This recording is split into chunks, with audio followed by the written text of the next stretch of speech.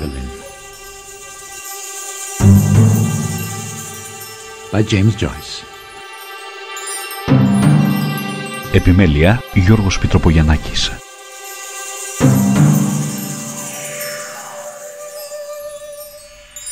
She sat at the window watching the evening invade the avenue.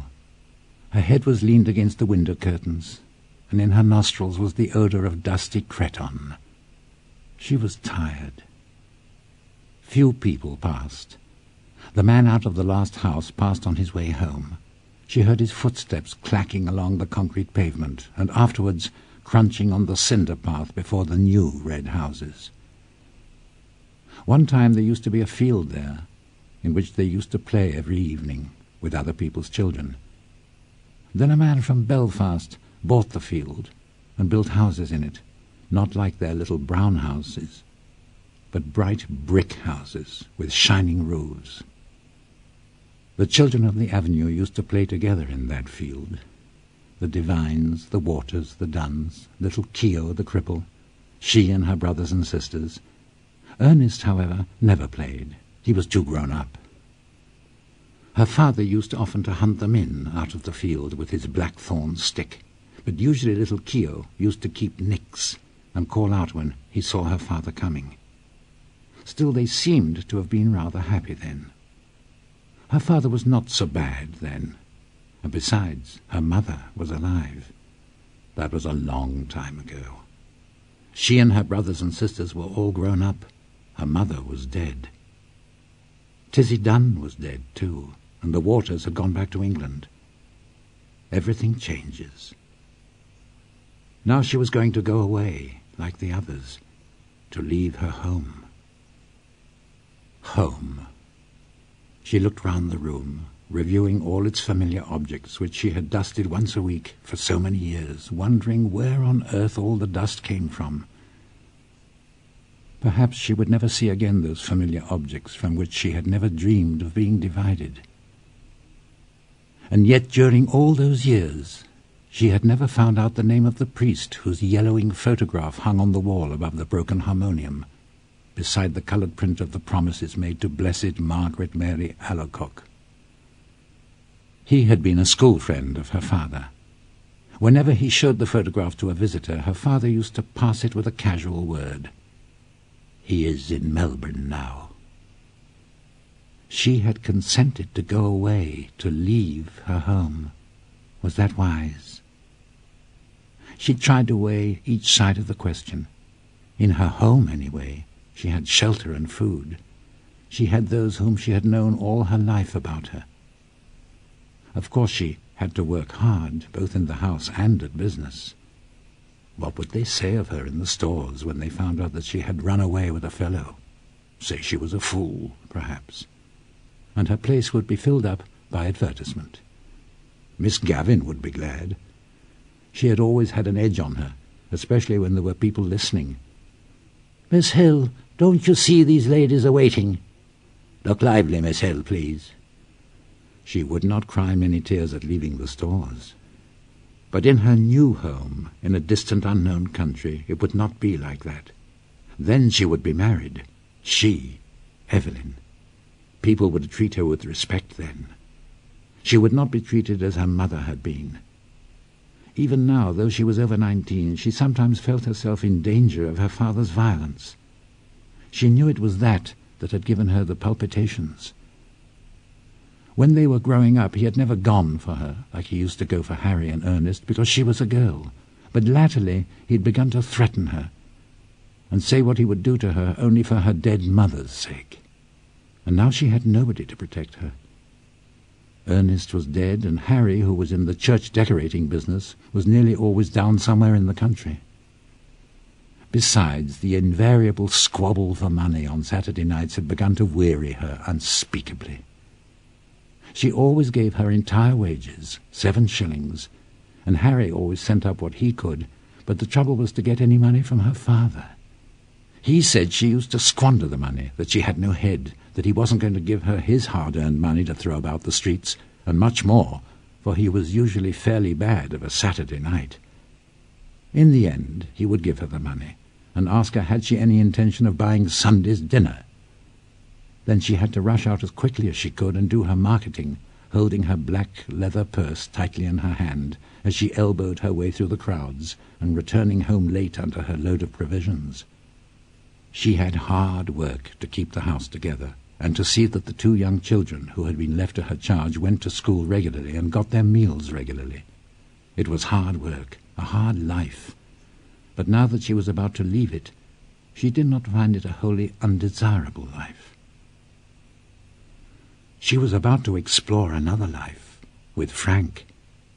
Frank was very kind, manly, open-hearted. She was to go away with him by the night boat to be his wife, and to live with him in Buenos Aires, where he had a home waiting for her. How well she remembered the first time she had seen him. He was lodging in a house on the main road where she used to visit. It seemed a few weeks ago. He was standing at the gate, his peaked cap pushed back on his head, and his hair tumbled forward over a face of bronze. Then they had come to know each other. He used to meet her outside the stores every evening and see her home. He took her to see The Bohemian Girl, and she felt elated as she sat in an unaccustomed part of the theatre with him. He was awfully fond of music and sang a little. People knew that they were courting, and when he sang about the lass that loves a sailor, she always felt pleasantly confused. He used to call her Poppens out of fun. First of all, it had been an excitement for her to have a fellow, and then she had begun to like him. He had tales of distant countries, he had started as a deck boy at a pound a month on a ship of the Allan Line going out to Canada. He told her the names of the ships he had been on and the names of the different services. He had sailed through the Straits of Magellan, and he told her stories of the terrible Patagonians. He had fallen on his feet in Buenos Aires, he said, and had come over to the old country just for a holiday. Of course, her father had found out the affair and had forbidden her to have anything to say to him I know these sailor chaps, he said. One day he had quarrelled with Frank, and after that she had to meet her lover secretly. The evening deepened in the avenue. The white of two letters in her lap grew indistinct. One was to Harry, the other was to her father. Ernest had been her favourite, but she liked Harry too, her father was becoming old lately, she noticed. He would miss her. Sometimes he could be very nice. Not long before, when she had been laid up for a day, he had read her out a ghost story and made toast for her at the fire. Another day, when their mother was alive, they had all gone for a picnic to the Hill of Howth. She remembered her father putting on her mother's bonnet to make the children laugh. Her time was running out, but she continued to sit by the window, leaning her head against the window curtain, inhaling the odour of dusty cretonne. Down far in the avenue she could hear a street organ playing. She knew the air. Strange that it should come that very night to remind her of the promise to her mother, her promise to keep the home together as long as she could. She remembered the last night of her mother's illness. She was again in the close, dark room at the other side of the hall, and outside she heard a melancholy air of Italy. The organ player had been ordered to go away and given sixpence. She remembered her father strutting back into the sick room, saying, Damned Italians! Coming over here! As she mused, the pitiful vision of her mother's life laid its spell on the very quick of her being, that life of commonplace sacrifices closing in final craziness. She trembled as she heard again her mother's voice, saying constantly with foolish insistence, Derevaun, Seraun, Derevaun, Seraun. She stood up in a sudden impulse of terror. Escape! She must escape. Frank would save her. He would give her life, perhaps love too. But she wanted to live why should she be unhappy? She had a right to happiness. Frank would take her in his arms, fold her in his arms. He would save her. She stood among the swaying crowd in the station at the north wall. He held her hand, and she knew that he was speaking to her, saying something about the passage, over and over again. The station was full of soldiers with brown baggages. Through the wide doors of the sheds, she caught a glimpse of the black mass of the boat lying in beside the quay wall with illumined portholes. She answered nothing. She felt her cheek pale and cold, and out of a maze of distress she prayed to God to direct her, to show her what was her duty. The boat blew a long, mournful whistle into the mist. If she went, tomorrow she would be on the sea with Frank, steaming towards Buenos Aires. Their passage had been booked. Could she still draw back after all he had done for her? Her distress awoke a nausea in her body, and she kept moving her lips in silent, fervent prayer. A bell clanged upon her heart. She felt him seize her hand. Come! All the seas of the world tumbled about her heart. He was drawing her into them. He would drown her. She gripped with both hands at the iron railing. Come! No. No. No, it was impossible. Her hands clutched the iron in frenzy.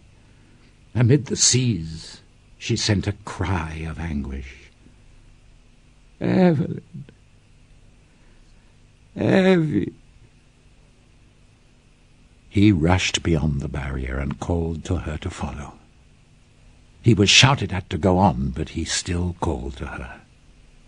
She set her white face to him, passive, like a helpless animal.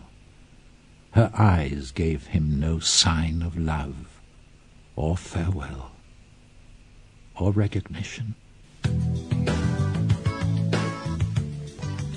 Επιμέλεια Γιώργος Πιτροπογιαννάκης